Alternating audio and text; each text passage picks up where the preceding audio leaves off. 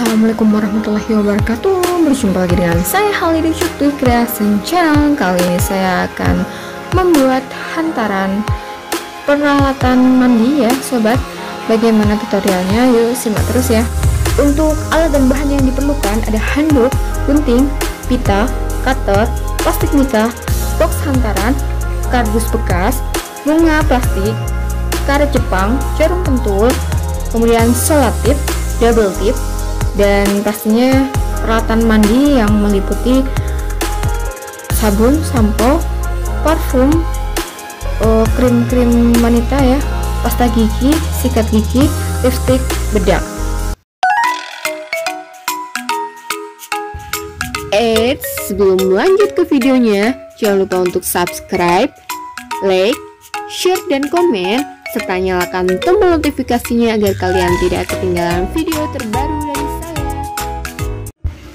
langkah pertama kita ambil handuknya ya sobek labelnya kemudian kita lipat menjadi dua tumpuk lalu gulung seperti ini untuk sisi kanan dan kirinya ya. Jadi handuknya ini saya akan bentuk menyerupai boneka ya sobat ya.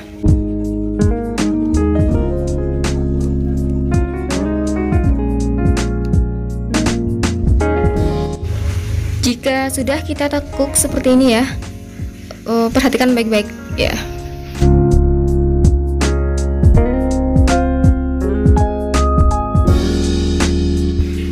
Langkah selanjutnya kita ambil karet Jepang. Ini saya akan membuat lehernya ya sobat ya.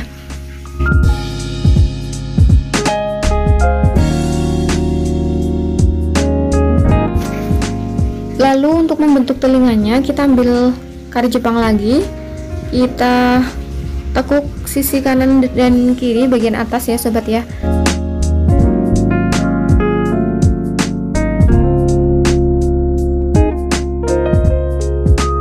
Jika sudah terbentuk seperti ini kita ambil pitanya.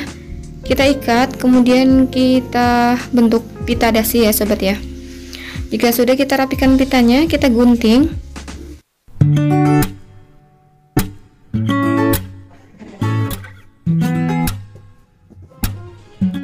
selanjutnya saya akan membuat mata. Matanya ini saya lupa tadi tidak menyematkan di depan. Saya sudah membentuknya menggunakan kain flanel ya yang berbentuk bulat seperti ini. Kemudian saya tempelkan saja menggunakan jarum pentul. Lalu untuk boxnya saya sudah meletakkan kardus sebagai dudukannya. Begitu pula untuk nanti sebagai uh, sandaran handuk saya beri kardus yang sudah dibentuk sedemikian rupa ya sobat ya kemudian kita tata ya untuk perlengkapan mandinya. Ini untuk pasta giginya saya uh, cicil untuk di double tip ya sobat ya. Untuk dudukan handuknya saya kunci menggunakan jarum pentul seperti ini. Bagusnya dudukannya itu dilapisi dengan kertas kado atau lainnya. Handuknya kita kunci juga menggunakan peniti atau jarum pentul untuk uh, sampo atau peralatan mandi yang berat saya masukkan ke dalam dusnya saya bentuk dulu untuk membuat lubang seperti ini ya sobat ya. Lalu saya lubangi menggunakan cutter atau pisau ya sobat. Untuk perlengkapannya bisa kita mulai menghiasnya ya sobat ya. Kita double tip untuk bagian bawahnya. Begitu pula untuk lipstick bedak sabun dan uh, krim ya sobat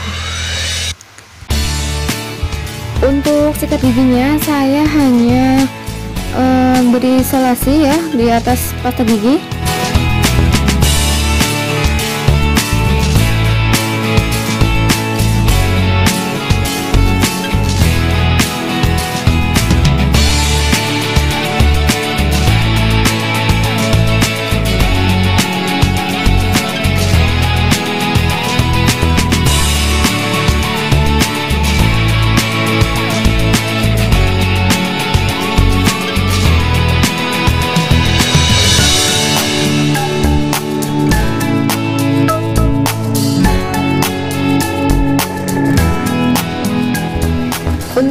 krim wajahnya saya juga selasi kardus dan krimnya ya sobat.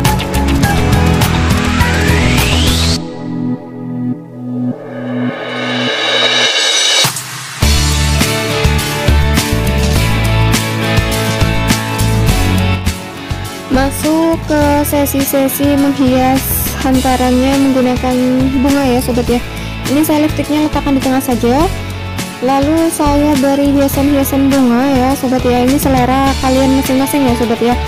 Bunganya seperti apa mau diletakkan di sebelah mana terserah ya sobat. Yang penting ini saya menutupi seluruh uh, bagian yang kosong ya sobat